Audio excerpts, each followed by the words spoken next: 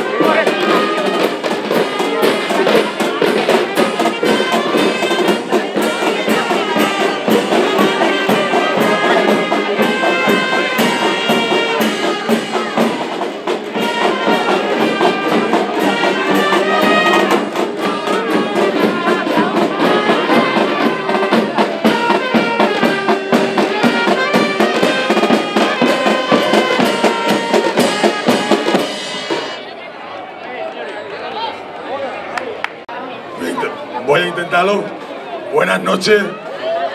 Perdón. Paso directamente al pregonero, que os va a decir unas palabras y luego hacemos el acto del encendido de la feria. ¿Vale?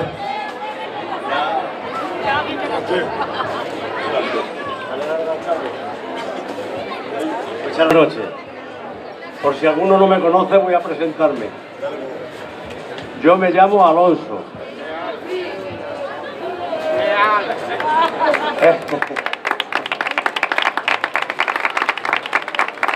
Estoy casado con Paqui y tenemos nueve hijos. Frente. Ah. En primer lugar, tengo que darle las gracias a nuestro alcalde de Arroyo de San Serván, a Eugenio, al concejal de festejo, Raúl, por haberme elegido a mí como pregonero este año 2022. También darle las gracias a la Hermandad de la Santa Cruz, Ana Gallardo, su presidenta, y a nuestro párroco, don Manuel Malagón.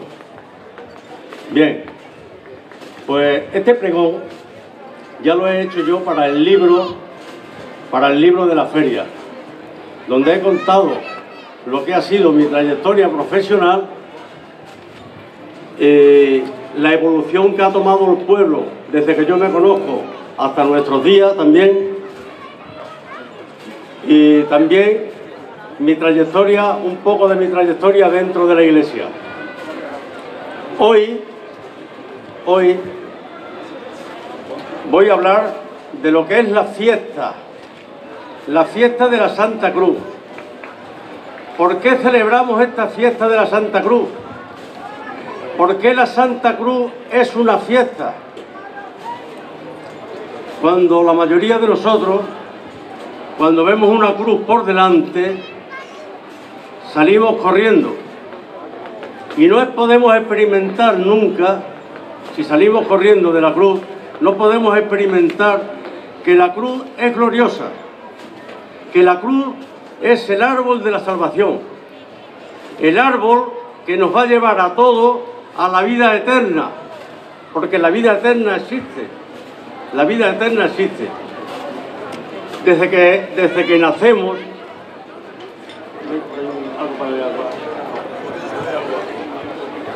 desde que nacemos o tenemos uso de razón, hasta que nos morimos, Dios pone una cruz a cada uno, no hace excepción de personas, a cada uno nos pone una cruz en nuestra historia. ¿Y para qué nos, pone esta cruz en nuestra historia? Para que podamos experimentar a un Dios de verdad, poder experimentar a Dios en nuestras vidas, no a un Dios que hemos escuchado de oídas. Un Dios que en los acontecimientos de nuestra historia, que en los acontecimientos de nuestra vida, ah,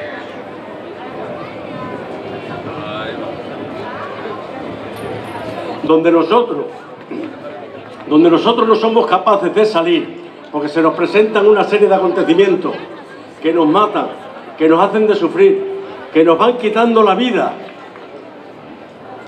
pues esa cruz que es gloriosa, esa cruz que es el árbol de la vida que nos va a llevar a la vida eterna, es en la que nos tenemos que apoyar y pedirle a Dios que nos ayude para poder aceptar esta cruz, porque no es lo mismo tener un sufrimiento con Jesucristo que sin Jesucristo. Y voy a poner unos ejemplos. Mirad, el pueblo de Israel, elegido por Dios, estaba esclavizado en Egipto, los hebreos, donde los machacaban, donde un hebreo no valía nada, donde mataba a un, a un hebreo y tenía menos valor que matar a un perro en aquella época. Tenían una cruz terrible y no eran capaces de salir de ella, porque los egipcios eran poderosísimos en aquella época. Era lo más fuerte que había en el mundo. Sin embargo, ellos clamaban a Dios para que le ayudara, para que le ayudara. Y a través de Moisés hizo tales, tales series de prodigios y de señales, prodigios y señales, que, los egipcios no tuvieron más remedio que darle la, libertad. Y, y, desapareció totalmente la cruz. Pudieron salir de la esclavitud de Egipto. Y, y los hebreos pudieron ver que lo que no estaba en su fuerza venía de Dios. Y Dios sí podía hacerlo. Pero la cruz hay que tener en cuenta que no es siempre la misma, que no está siempre en el mismo sitio. Porque la cruz es transitoria. Unas veces las puedes tener en un sitio y otras veces las, puedes tener en otro. Cuando el pueblo de Israel sale de Egipto, eh, los egipcios se dan cuenta de que se les va de allí la mano de obra. Se quedan sin mano de obra y empiezan a pensar, ¿y ahora quién va a hacer los ladrillos? ¿Y ahora quién va a pisar el barro con la paja? ¿Y ahora quién va a hacer las labores del campo? ¿Y ahora quién va a hacer la faena de las casas? Entonces cogen espada, flechas y lanzas y persiguen otra vez al pueblo de Israel, a los hebreos. Y los hebreos se encuentran con el mar rojo por delante, que no pueden pasar. Es una cruz de muerte, porque se encuentran entre la espada que viene por detrás y entre el mar rojo, entre la espada y la pared. Y otra vez vuelven a clamar a Dios para que les ayude, porque en su fuerza no está, porque en su fuerza lo que está es la destrucción totalmente. Y sin embargo, y sin embargo Dios coge y le abre el mar rojo y pueden pasar. Algo donde, donde ellos pueden experimentar totalmente a Dios, porque eso no, eso, eso no estaba en ellos, eso era imposible. Lo que para nosotros parece imposible, para Dios es facilísimo. Solamente tienes que apoyarte en Él para ver cómo desaparece la cruz, cómo la cruz se convierte en gloriosa. Y cuando van a pasar los egipcios, pues Dios les cierra el mar. Tenían una muralla de agua a la derecha y otra muralla de agua a la izquierda.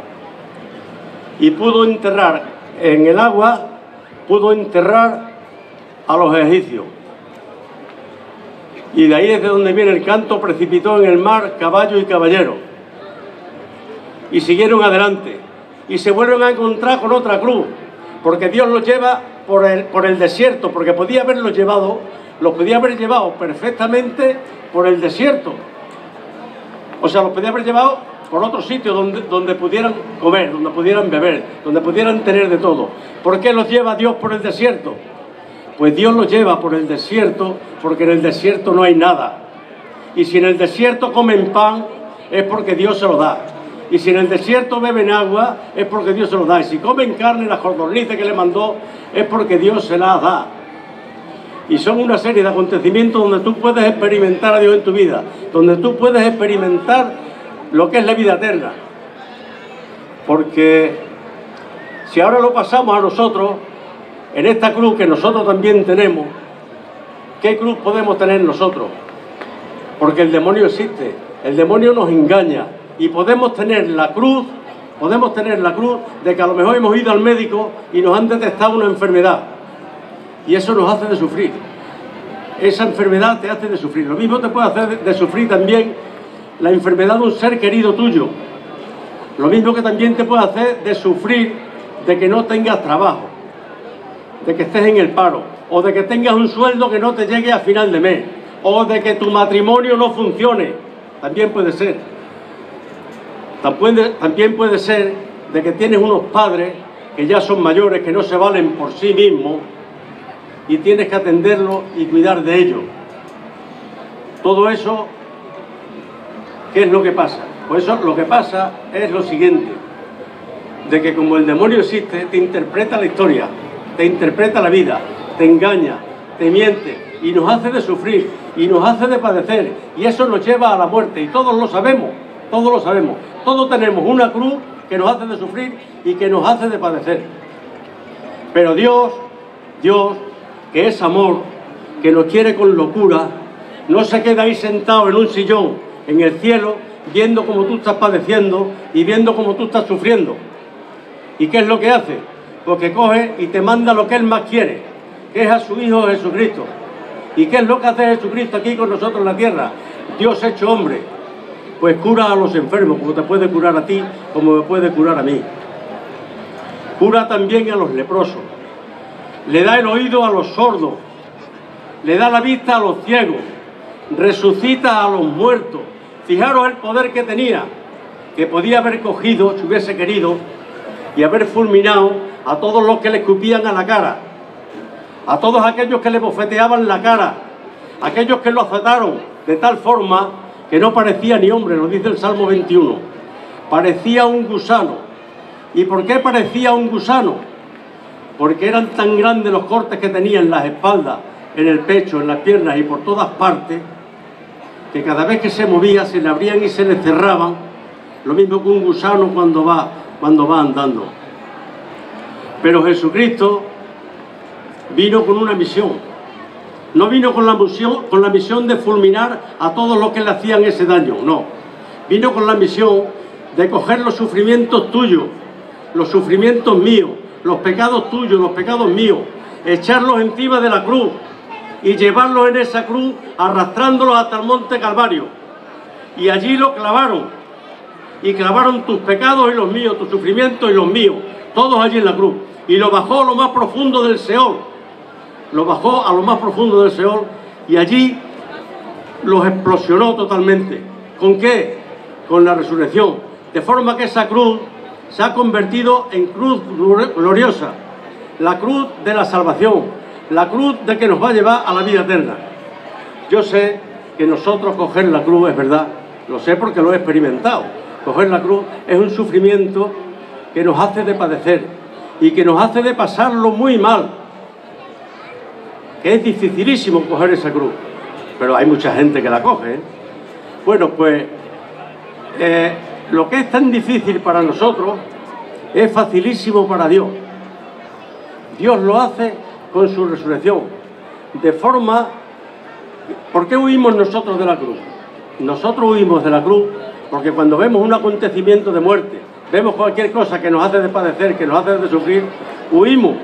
Y al huir no experimentamos que esa cruz es gloriosa, que esa cruz nos va a llevar a la vida eterna, a la vida eterna que existe, la vida eterna donde vamos a poder encontrarnos con nuestros padres, con nuestras madres, con nuestros hijos, con nuestros maridos, con nuestras mujeres que ya están allí esperándonos.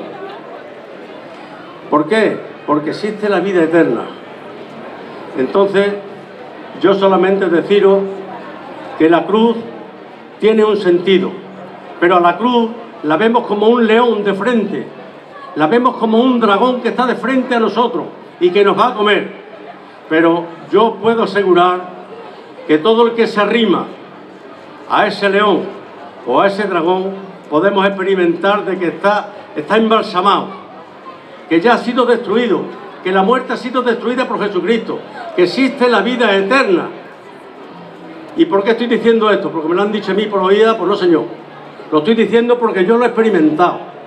Porque yo lo he experimentado en mi trabajo.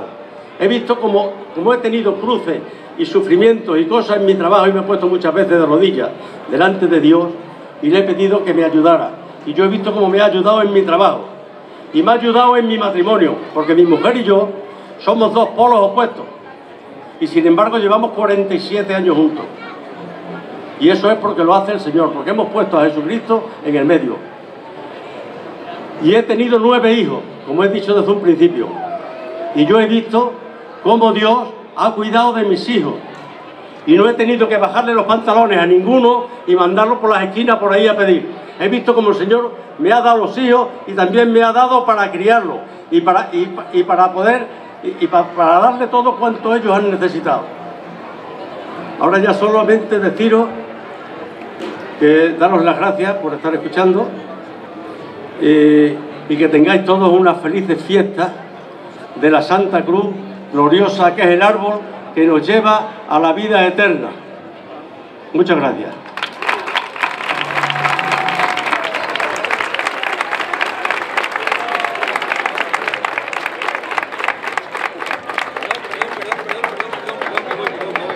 ¿Vais a hablar algo alguien que no voy? Sí. No. Hay que quedar calambre. Hay que quedar calambre.